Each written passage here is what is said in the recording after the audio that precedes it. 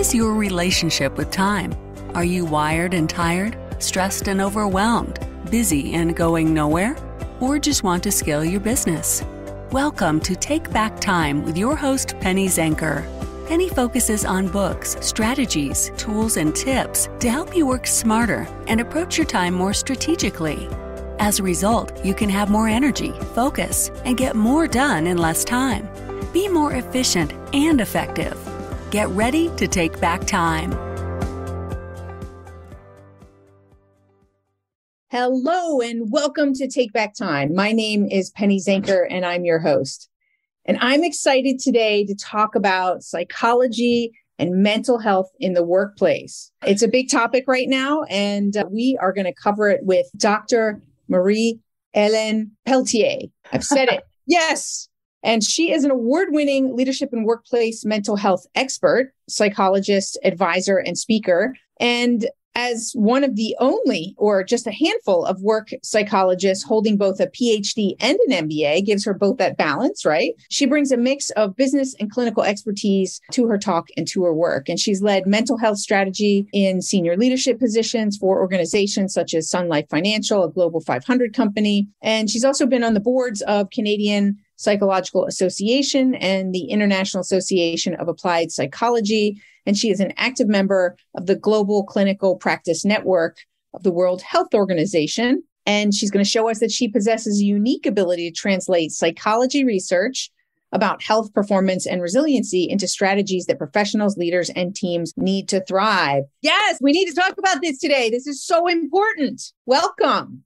Thank you. It's a pleasure to be here, Penny. Geez, I don't even know where to start. First of all, what makes you interested in both psychology and the workplace? Like, what brings that unique blend together for you? I got there by, you know, how early career sometimes evolves, right? It brings you in different roles. In my case, a couple of decades ago, being able to be a psychologist in the context of workplace in employee and, and family assistance programs, for example, was such a an opportunity for me to see how sometimes a very little bit of information could make a huge difference in the outcome, in how people feel, think, and the choices they make. And so that's how that started. And then things evolved from there. When I continued my research, I did uh, research in telehealth about 20 years ago. Now it's very mainstream, of course, but at the time it wasn't, which was also to decrease the challenges with access that people had. But in order to do that research, I needed to do a lot of management of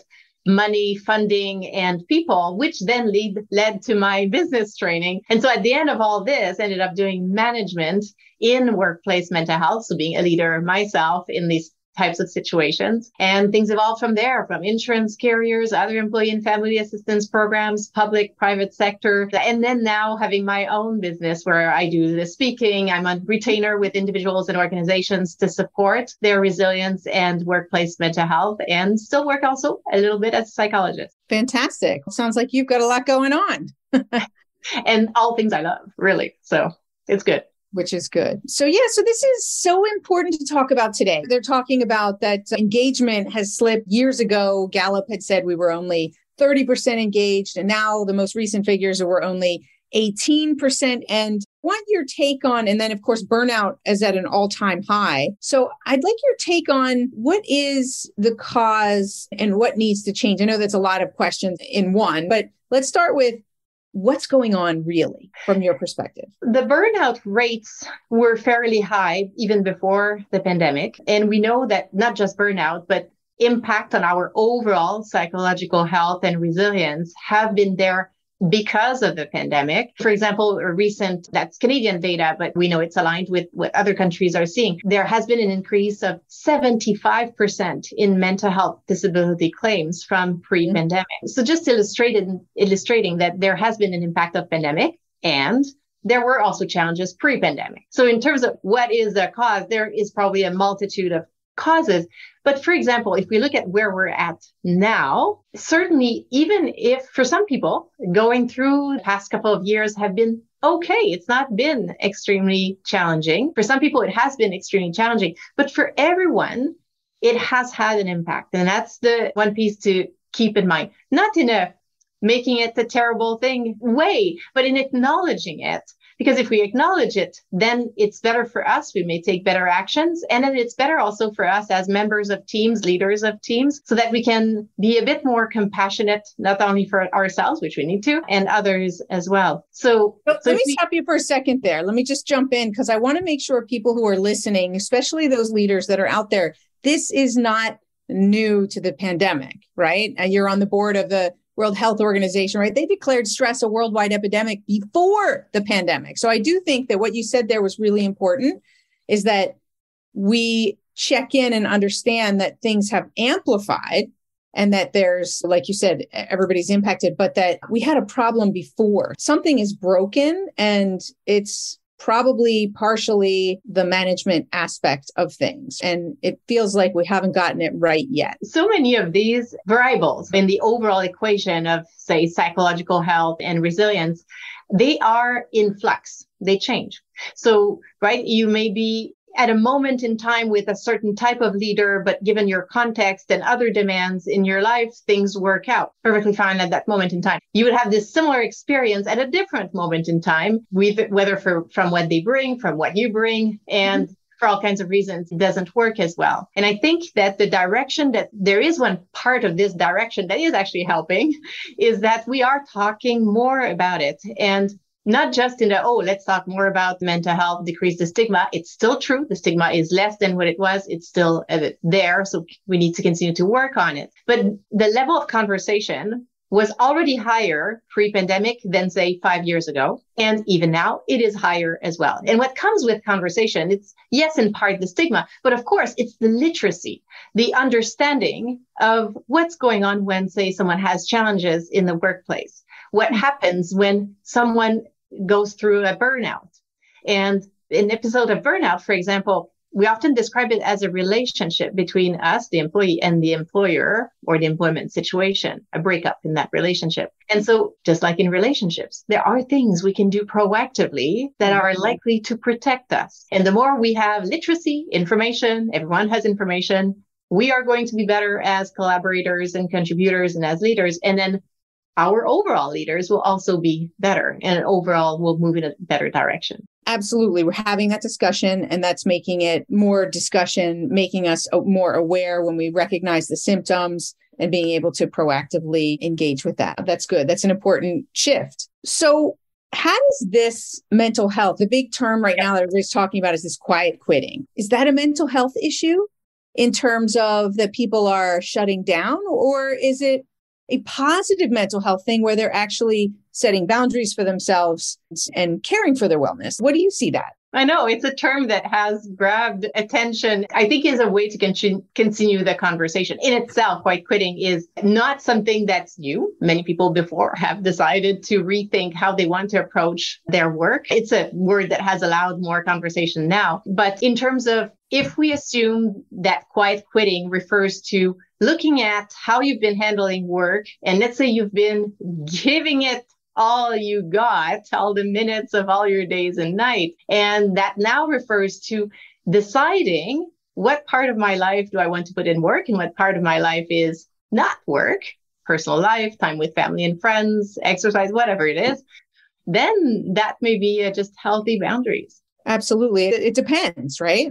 That's what I hear. And, and I don't know about you, but like you talked about literacy, right? It's important that we have language and that we can discuss it. But at the same time, I feel like that's a harmful label. And I feel like sometimes we create these labels and then we bucket everybody in and and handle them as quiet quitters versus these people are setting balance for themselves and these people are really fed up with being treated unfairly. So, how do you suggest that leaders deal with that in the sense of mental health and really addressing where there are positive aspects of it and not so great aspects? Yeah, I think I would let go of the label, actually. would not use it. Instead, I would just try to learn from each person's experience and what is going on for you. Because you could have someone that labels themselves or has been labeled by others as a quiet quitter. Right and it may be someone that who is disengaged that does not find whatever meaning they used to find or they're ready for their next role whether it's a different role or a lateral role whatever. They're ready for the next challenge. That could be that. It could also be someone that used to do things differently and now their personal context has changed such that they need to revisit how they just how they use their time and where they put their energy and how. And it may be fabulous for everyone, including the employer, that this individual is deciding to do things a bit differently. So it could be healthier, like good. Right. Supporting them in the long range, supporting the organization in the long range. So I would go instead with just what's what's your experience? How are you feeling, thinking? What are your needs? And then we can go from there and have a more specific, more honest, more compassionate conversation because now we understand what this really means for this individual. Absolutely. So keep it individualized and let's stay away from those labels. And plus, it's not an official label anyway. It's not a diagnostic. It's not. Right. It's just a term. be, right? They're throwing it around like it is a diagnostic. So that's why I wanted to bring that up because I think it's problematic. Yeah. But you know what? I think it's true for so many other people, so many experiences. Say someone could be going through, let's say, a depression. We would not want, as say, an employer or a leader of a team, if someone comes forward and says, I was off for a period of time and uh, they're choosing to tell us why they were off and that kind of thing. I would still not go with oh, okay, this is the label, and therefore everyone who's gone through this experience it. No, because their context will be different. And so you'd still want to go with, okay, so given this, what does that mean for you? Do you need anything from us at this point, or you're okay and you'll just let us know? It depends. Have you seen leaders struggling with, because there's probably a lot more individual attention that is needed? Do, uh, do you find them being overwhelmed because they don't have the time to to connect with so many individuals? Is that something that you're seeing? I'm some, sometimes overwhelmed, sometimes also just fatigued. Actually, mm-hmm. sometimes they have made the time, especially earlier in the pandemic, but we're still feeling now the tail end of it because at some point, especially during the pandemic, there was this strong encouragement to leaders, especially because they were connecting many of them more from a distance to check in even more, more than ever. And mm-hmm. people were feeling a bit, it was sometimes happening that people were happier than before, but a lot of the time they were the same or having some challenges. And therefore, for some leaders, it has actually led to compassion fatigue, a term that we used to use mostly for professions that were very focused on needing to listen to others, like healthcare and education. Right. But now it's every every leader that has suddenly spent way more time asking the question, which creates a load. There's been some of that as well, which then leads to also us as leaders looking at, okay, given the new context, there used to be a way in which I was operating as a leader and it was working fine for me. And now the context is different. What do I need here to continue to be that fabulous, inspiring leader to my team? So, what is it that you're finding and recommending for these leaders during this next, the yeah. future of work, right? For this next coming year of 2023? What to expect? What are some top tips? Yeah, I think the one of the things I said early in the pandemic, it was not so well received then. Now it's a bit better, but it's as if people did not assume that things like this could happen. And of course they can, and they probably will, just in different shapes and forms. So the more we can now strategically plan our resilience, the better. Because resilience is not a given. Even if leaders and highly performing professionals sometimes we're told oh you're so resilient and they've seen themselves go through so much they most get to a point where they think it's a personality trait it's in them it's going to be there for them whenever they need it and that's it the reality is that we need to nourish it and that's the key aspect. The thing that for some of the people I work with is literally the game changer. That's also the topic of my book. but the idea that you need to be strategic about your resilience. Therefore, the same way you've been strategic about other things in your work, when you've launched a product, when you've launched a new service, when you've built a company, you've had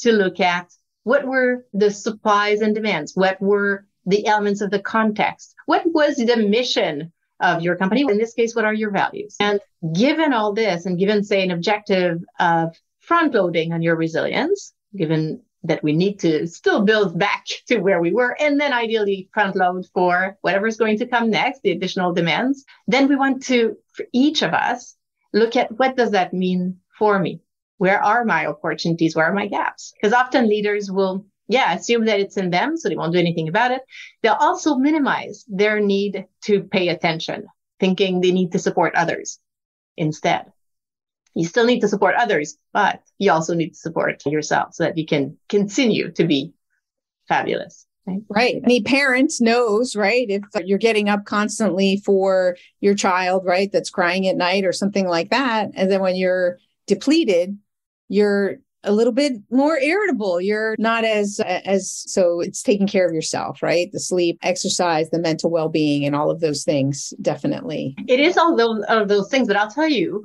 the challenge is not for the people I work with don't have the challenge of not knowing this. They know this.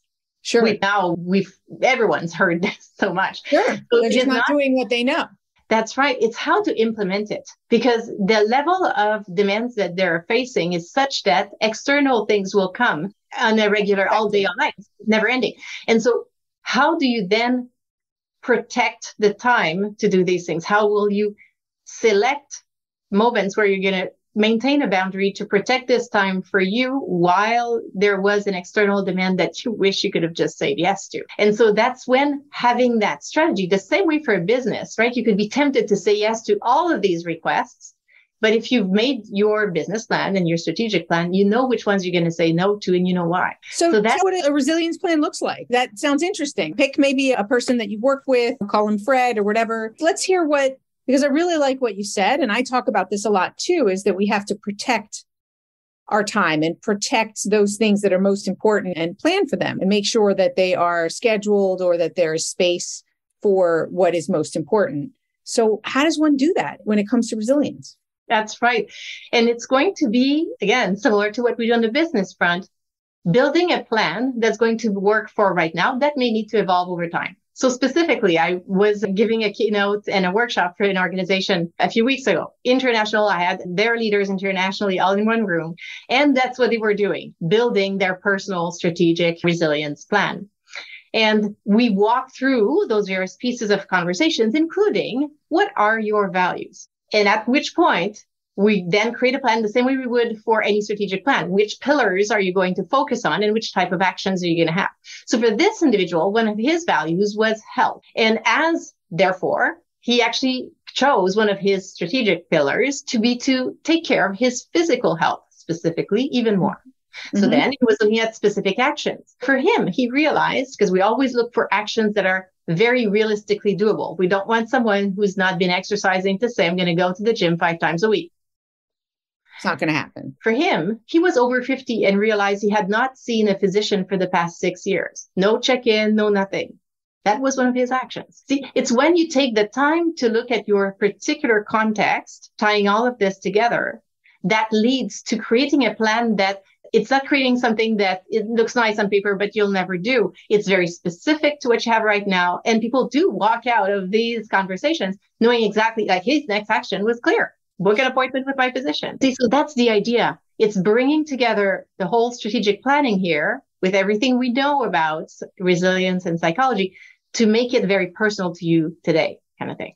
Fantastic. I just wanted people to hear like a specific example so that they understand that it's also a process that they know, right? You take what your goal is and yep. then you identify short term, long term goals and the actions that go under those goals. It's not complicated. And like you said, it's the most important thing is that you pick things that are simple and actionable and you just make it so that you're actually taking action and not just making a plan. How many people make a plan and then never follow the plan? That's right. It's always that question, right? But what's most important, a really good strategy or just execution? And we really want both. We want a good strategy, well executed. And part of what does that is making sure that it is actionable and doable. And I've actually one had one person come to that same workshop twice for she was part of two different groups and it just happened that way and but she was reflecting on how five months later so she had done her plan over hmm. here perfect for, for her it was january and all had her actions so when she showed up here she actually brought herself to do the exercise again and realized her plan was completely different because she did take these actions. It was for the next thing for her. It's very much something that's alive and that will evolve over time. Fantastic. So, what else do you think is important for the listeners to know before we get into a wrap up? What did I miss? What didn't I ask you that you think is really important for them to know?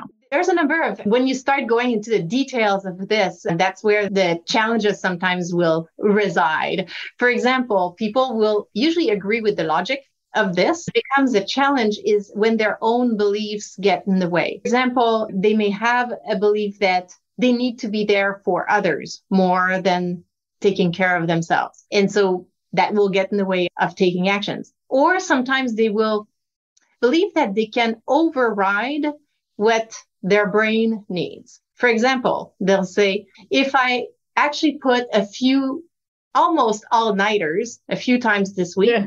I'll be able to get on top of things and I'll be, I'll feel good. I will feel like I have control. This is part of what I want. That's one of, of my values. I've got that little voice in my head too that says that it's always wrong. And that's the complexity because when you work on having all of your values, you're going to be able to see sometimes the conflicts between them. So see mm-hmm. the conflict between I want to take care of my health and invest in my resilience, which means no, I should not put an all nighter. I should stop working at nine so I can go to bed at 10 so I can sleep seven to eight hours. And then you're going to have this value of getting things done and being on top of all my demands. And it does require, if we just how do you break through that? That's a great example because I think probably 35% of the people, if not more, have that specific challenge. So, That's how do you right. break through that? Yeah. So, for each person, it's going to differ. But one person I worked with, for example, had to then step back and look at the details of okay, am I able to do, say, one night that I will sleep six hours? I'm going to use that. It will be a one time. And I'm not going to try to do everything I have to do. I'm going to focus on the two things that really have to be done at this moment in time, knowing I'm not going to be on top of everything so that you, it's almost like flexing on a bit of both. But it's often like this when values don't go in the same direction, it usually is not the best idea to just pick one and run with it. Oh, I will just sleep and not do the work, or I will just do the work and not sleep. It's finding the flexibility between the two and being creative. And in order to do that, again, the more you've built your own resilience, it'll make it even easier to find solutions. And sometimes that's why people talk to people, professionals like executive right. coaches like myself and others to help them figure it out. Because sometimes it looks like it feels overwhelming and you just can't yeah. see forest through the trees. That's absolutely else can help you to break that down. Fantastic. I'm just curious. I ask a lot of different people this question. How do you define productivity and why? In preparation for our conversations, it did prompt that reflection. And um, and then I was looking at the American Psychological Association's definitions along these lines as well, because I do a lot of my continuing education with them. Uh-huh. And I do think that some elements of the ratio between output and input, and in the end, how much is it taking you to produce the quantity or the quality of what you want? You know, what is that ratio? And from a psychological perspective, if I look at what I know from a business side and the psychological side, the more we've front loaded and brought the best we can for our brain to function the best it possibly can, then assuming we're in the line of work that we're good at, we're trained in and we enjoy, then we will do pretty good. And quite likely the productivity will be there. Where I see my clients struggle is when this has suffered and then it leads to challenges on the productivity side. And so backfilling here often leads to the results they want. Very good. Everybody's got a different, it's interesting. I've interviewed hundreds of people and everybody yeah. has a different definition as to what different it really is. So I think that's also one of the things in the workplace that we have to understand and agree on what are some of these terms. You talked about bringing a language, right? A, a vernacular to things. It's understanding how do we define productivity in this context. You also said that, which I think is really important. Yeah. Contexts change. And so we have to re revisit together and yeah. say, you know, what, how do we define productivity today versus yesterday?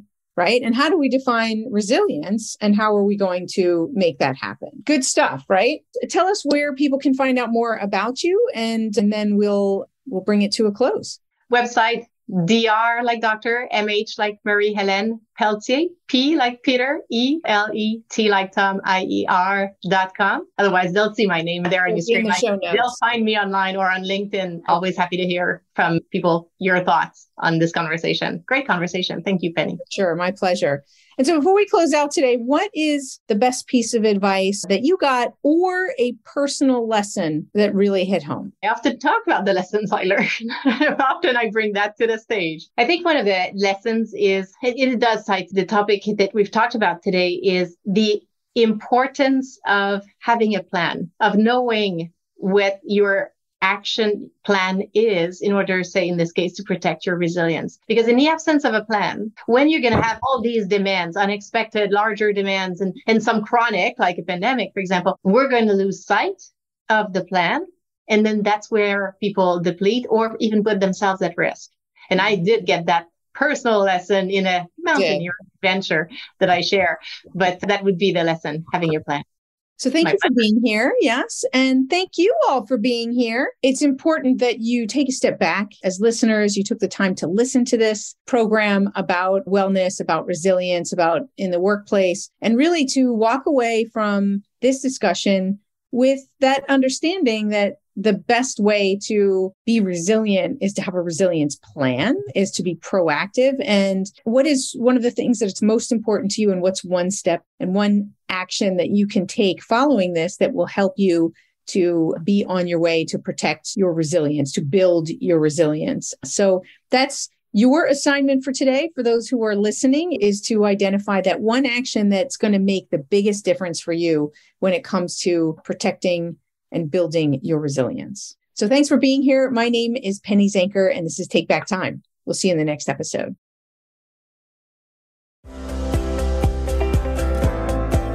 You for listening. Today's topic is another opportunity for you to put the knowledge you learned into practice. Tune in again next week for more strategies that will help you have more energy and focus to get more done in less time so you can continue to take back time.